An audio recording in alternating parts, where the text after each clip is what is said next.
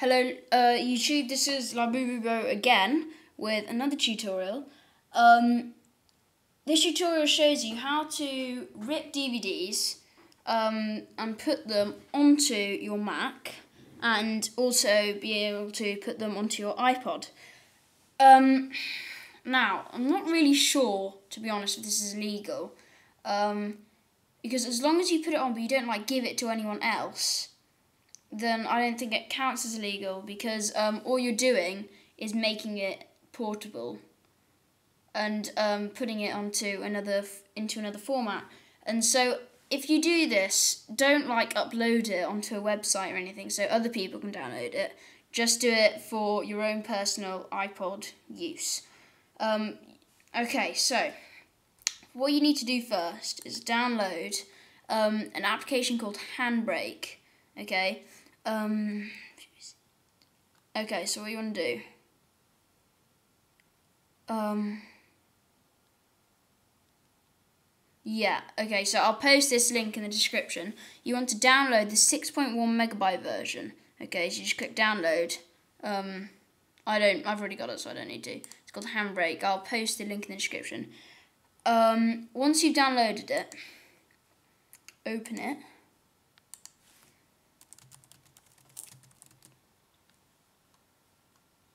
There we go, so. Oh, just download?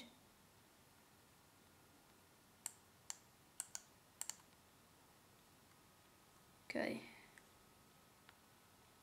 Open. Cancel that. Okay, so you'll have it here. What you want to do, toggle presets, is um, hmm, um yeah, sorry. Just lost my. I don't know what happened then. Um, what you want to do is you want to put a disk into your um, drive. Okay, wait for it to load. Well, and then make sure you have this, your cursor over DVD player, because like the dot will appear and it will open it automatically.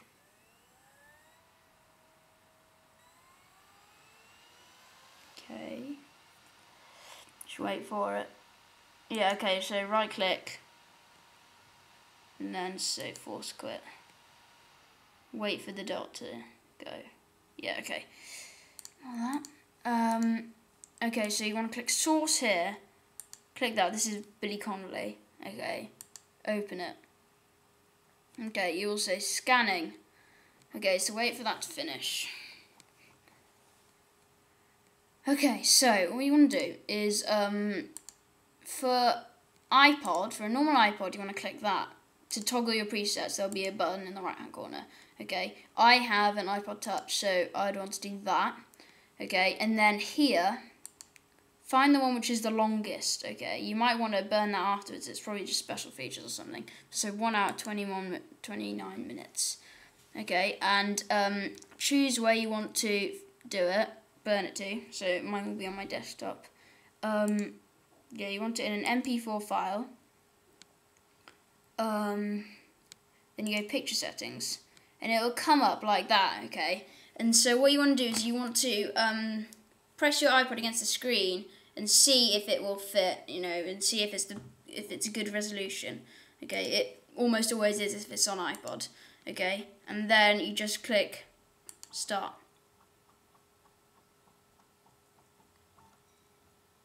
Okay, and in the bottom it'll say 0 0.06.